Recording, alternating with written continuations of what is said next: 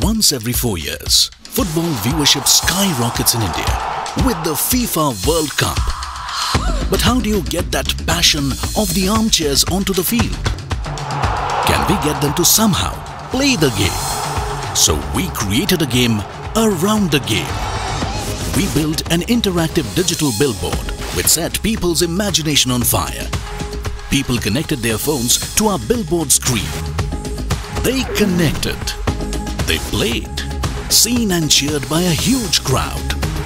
People couldn't wait to try their hand at the game.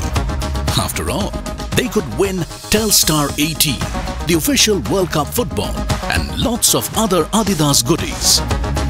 The crowd grew and grew. The 90-minute game went on for 600 minutes. And the ground was the billboard.